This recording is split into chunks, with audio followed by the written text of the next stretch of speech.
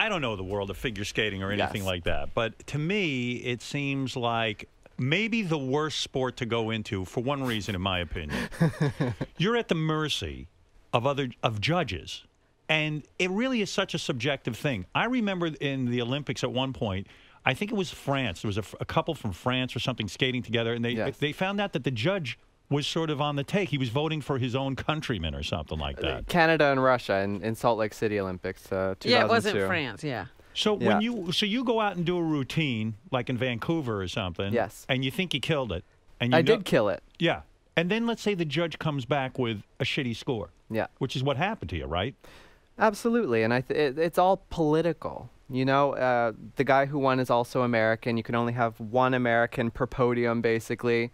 It was in North America. I mean, there there were lots of things that went into it, and I skated the best I ever did, and that's, you know, unfortunately what I've got to show for it. And you have no option. You can't go and say, "Hey, wait a second, I just got robbed." You you just got to accept it. and You got to have great sportsmanship, right? yeah, you you bend over and you take it. Do you think you were held back by these judges? Do you think there was a conspiracy against you? I'm being serious. Well, there's a lot of everything. I mean, the people that do judge us are about half a century older than mm-hmm. us. Right. So there is a, a cultural gap there. And in America alone, I mean, I, I train in Russia part of the year. I have Russian coaches. I've, I've never really been against any part of the world. And Americans want patriots and people that are pushing America forward. And, and I love where I come from and stuff, but I think the Russian thing definitely turned people off. And then do you the gay the thing. judge- and do you think the judges were against you because you trained in Russia and therefore you're not an American? Well, I mean, our American judges, I mean, I, I've heard it my whole career and, and mm. constantly being told, okay, your hair is too gay, you're training with a Russian, you shouldn't speak Russian, you, should, uh, you shouldn't wear that kind of costume, this, that, you're wearing too much makeup, blah, blah, blah. So they were biased against you because you were too flamboyant.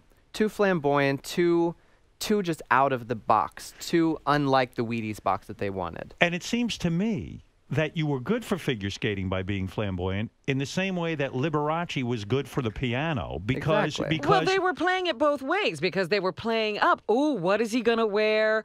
You know, how is he going to look? Is he going to, you know, go along with the judges and, and tone down his outfit or is he going to come out in full force? Yeah. And so they were playing it up to bring viewership to the Olympics. But then the judges were still going to be the judges. do you think there's an issue where gay men are sitting and saying he's too gay and he makes us look bad?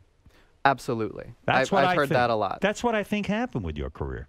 I'm honest to God believing But that's that. what I was saying that they were playing it up for the TV cameras and on, you know, to promote the show Yeah. that he's a rebel and he's going to break the mold. But by the same token, they were still going to vote in a very conservative way. Right.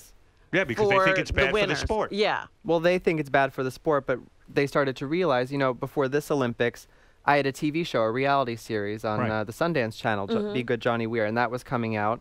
And um, my picture was everywhere, and everyone was talking about it, and they realized maybe it's good that he goes to another Olympics, and, and you know, he can bring some attention to the sport. We don't need a young kid this time as our third American. We can just have Johnny, and he'll bring us a lot of press. Right. And in some ways, I feel like I went to this Olympics because the people in charge knew that I would I would bring viewers.